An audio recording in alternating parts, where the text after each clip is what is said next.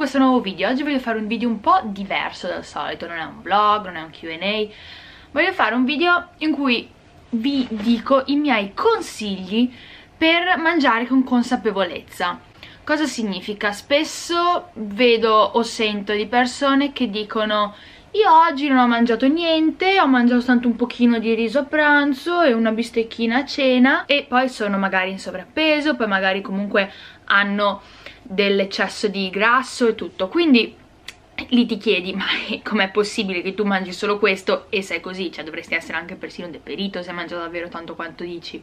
E poi in realtà quando poi vai a scoprire davvero cosa mangiano ma che il loro cervello non registra di aver mangiato scopri il motivo della loro situazione. E anche spesso mi chiedete ma io mangio bene, mangio sano, mi alleno eppure sono sovrappeso eppure ingrasso Bene, allora penso che questi consigli possano essere utili al fine di capire, scoprire quella cosa che fate ma che non vi accorgete di fare o che non pensavate fosse quella cosa che limitava i vostri successi.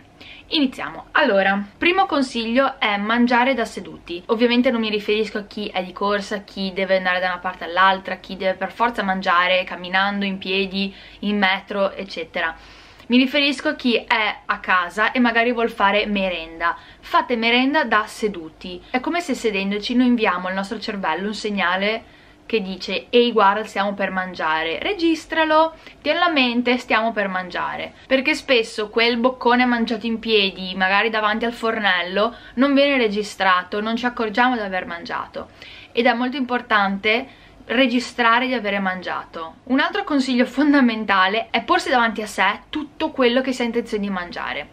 Io questo lo faccio ad esempio facendomi i piatti unici o comunque io cucino per me stessa quindi bene o male so ma capisco che in situazioni in cui ad esempio si è una grande famiglia, si fanno una ciotola di pasta e ognuno prende la sua porzione, la sua quantità a cucchiaio è un pochino più difficile però ad esempio io vedo che mio papà vede e considera di aver mangiato solo quello che ha nel piatto. Quindi se tu gli metti un petto di pollo nel piatto lui dice io a pranzo ho mangiato un petto di pollo. Ma non va a considerare tutto quello che sta fuori dal piatto cioè i grissini, il formaggio, lo stuzzichino, le olive e tutto. E, infatti finisce pranzo dicendo io ho mangiato solo un petto di pollo. No non proprio sinceramente. Quindi è molto importante avere consapevolezza e vedere, mettersi davanti quello che si ha intenzione di mangiare. Perché spesso quando poi si guarda davvero nell'insieme quello che si è mangiato e quello che si ha intenzione di mangiare sembra persino tanto. Però poi in realtà lo andiamo a mangiare e non ce ne accorgiamo se non l'abbiamo prima guardato e infatti io penso che se io ponessi davanti a una persona tutto quello che davvero mangia in un pasto quella persona mi direbbe no no no ma questa roba è troppa roba però poi stuzzicando a destra e a sinistra mangia lo stesso però non se ne accorge. Non so se mi sono spiegata.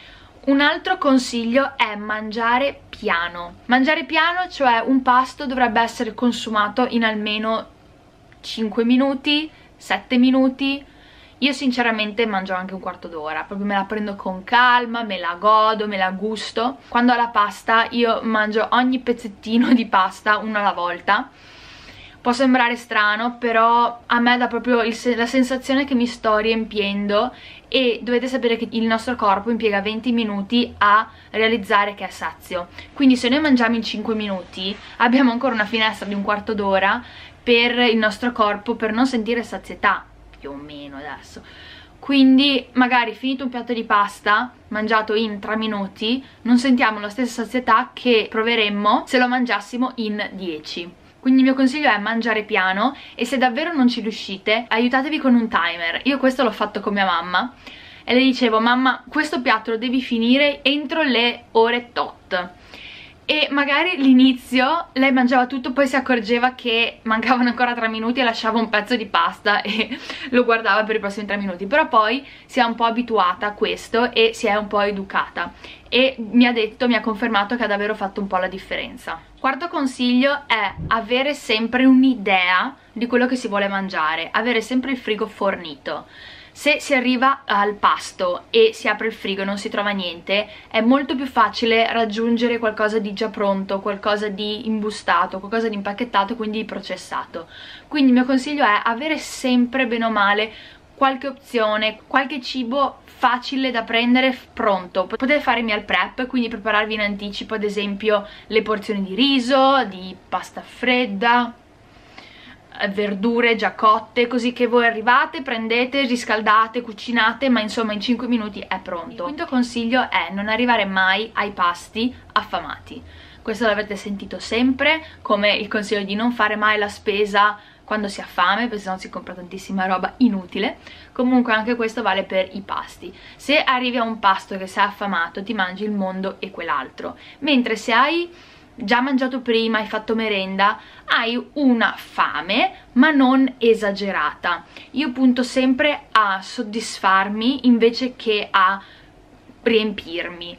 Per me il momento del pasto è la soddisfazione del mio palato e il fatto che sto nutrendo il mio corpo piuttosto che devo riempirmi perché devo mangiare in quanto appunto arrivo al pasto con una leggera fame ma mai che sento che mangerai un bovino e oltre a volte succede perché comunque magari mi muovo di più oppure mi sono dimenticata la merenda oppure ho avuto un contrattempo però cerco di limitarlo al minimo anche perché così, l'ho detto spesso, mangiando più volte durante il giorno riesco a variare tantissimi gusti le merende le faccio un pochino più dolci, i pasti principali sono salati e questo mi aiuta a mantenere un equilibrio anche mentale nella mia dieta. Sesto consiglio è stare attenti ai succhi. I succhi sono spesso addizionati con zuccheri e anche quelli che non lo sono, che sono solo frutta, state attenti alle dosi perché un succhino a volte ha circa 250-300 ml che possono corrispondere persino a 35 grammi di carboidrati. Va benissimo perché sono zuccheri della frutta e tutto poi dipende dai vostri macronutrienti, dalle vostre quantità quindi non mi metto a discutere su questo ma il fatto sta che bere un succo e mangiare uno o due frutti a parità di carboidrati è molto meno soddisfacente ma soprattutto ha un potere molto meno riempitivo comunque a livello di sensazione ti senti molto meno pieno dopo aver bevuto un succo rispetto ad aver mangiato la frutta a parità di carboidrati quindi il mio consiglio è piuttosto mangiare frutta fresca che riempie molto di più, che sazia molto di più rispetto a bere quei succhi che seppur buoni, deliziosi, naturali e tutto a livello di sazietà riempiono molto meno un altro consiglio che mi sento di dare è quello di cercare di limitare gli spiluccamenti. Cosa significa? Che quando decidete di prendere una manciata di mandorle per merenda o del burro di mandorle. Uso questo esempio perché è magari quello che è successo a me che se prendo la mia porzione, quello che desidero e poi lascio lì il barattolo quando ho finito di mangiare poi magari lo guardo e dico mm, un altro, un altro due nocine, un altro cucchiaino di burro di mandorle. E questo a lungo andare può essere un altro fattore. Quindi il mio consiglio è quando avete deciso di prendervi la vostra dose di qualunque cosa prendete il pacco e chiudetelo, mettetelo via. Poi se ancora avete fame ritornate a prendere il pacco ma è cercare di evitare quel allungarsi su qualcosa senza pensare, essendo sovrappensiero. Questa è un po' la teoria del mindful eating, cioè mangiare con la testa, evitando il sovrappensiero. Un altro consiglio che mi sento di darvi è uno di cui io sono anche colpevole, cioè io mangio guardando la tv, guardando YouTube, guardando le puntate in streaming del segreto, quindi facendo altro, non concentrandomi solo sul mio pasto. Ammetto che mangiare da soli è già abbastanza triste e in più se poi devo farlo pure in silenzio non è il massimo. Quindi magari nel momento in cui sono con i miei, sono con un'amica ci può essere una conversazione la tv è spenta. Però nei momenti in cui sono da sola è per questo che l'accendo. Però spesso il fatto di mangiare guardando qualcosa, distraendosi, è anche quello un fattore di mangiare sovrappensiero.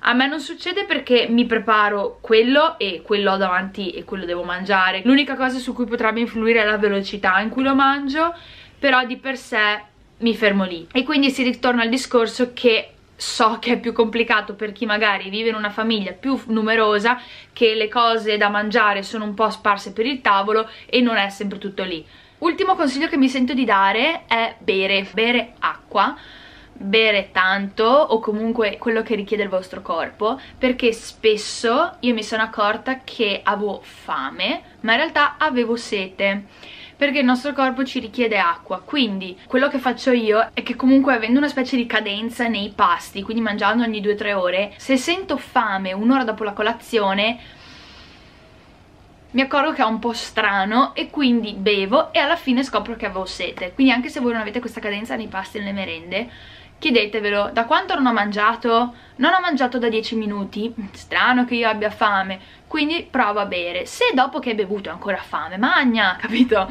Però spesso la fame viene confusa con la sete basta, questi sono i miei consigli con delle piccole accortezze per riuscire a mangiare con consapevolezza che possono giocare un ruolo chiave nel poter dimagrire pur continuando a mangiare perché sono delle piccole cavolate che potrebbero fare la differenza. Il video finisce qui, spero che vi sia stato utile. Se lo è stato mi fa molto piacere. Ci vediamo al prossimo video, ciao!